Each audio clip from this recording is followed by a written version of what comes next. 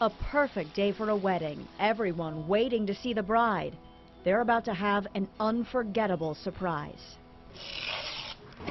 Oh, it's so nice. The bride is Gina Giaffoglione. She's paralyzed from the belly button down since a car crash six years ago. Basically, my legs feel like, um, like when your foot wakes up from being asleep, feels like that 24/7. But she's never let her accident stop her. This once determined athlete still coaches using her upper body strength. Her contagious attitude and smile led her to John. He's just that wonderful of a guy that doesn't see the chair and just sees me for me and forgets about how I get around. I did stand today, so that might help. Ready? Two, three. And when wedding planning began, Gina told her dad she wanted to walk by his side. I told her whether, whether we rolled down that aisle or whether we walked down that aisle, we're going to do this. Whichever way we have to do it, it it's, been, it's been her dream. Obviously, it's a dad's dream to have the honor of walking her daughter down the aisle. Good? Good job. I'm my dad's only girl, and I'm the baby. Dad deserves that. Come on, Gina, hit it. no pressure. So the work began. Months of therapy at CHI Health Rehabilitation Center at Immanuel, just to teach Gina's body how to straighten tall again. Got it. Got it. Got it. Months more with her dad working on every little motion. Remember, Gina can't feel her legs. When you can't feel anything and you're doing something that you used to do, that you used to take for granted, because I did, everybody does, you know, but when you're back up and doing it, and especially having dad on my arm, it makes every, it, it's just, it's, it's a floating that you can't even explain. It's not even about the walking. I mean, your emotions are floating. Everything just seems to feel so good Everyone stops and watches Gina while she's here.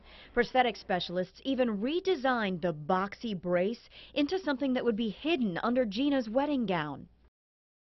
We're looking at you. You're John. And while Diana. fiance John and her close family know, no one else is in on the secret that Gina will be walking down that aisle.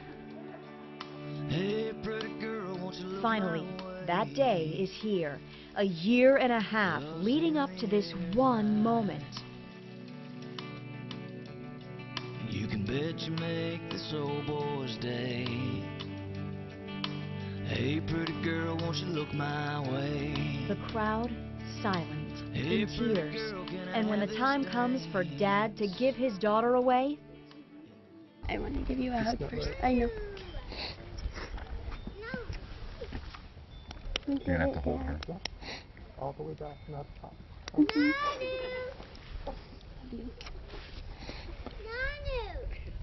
Gina and John stand face to face to exchange their vows.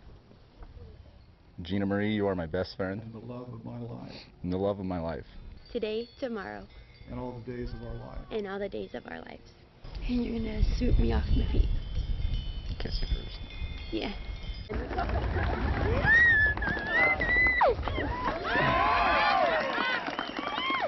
We did To so many here, this was a fairy tale come true.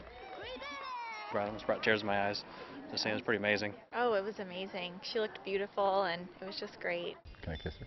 Kiss the. Gina's story shows any dream can become reality.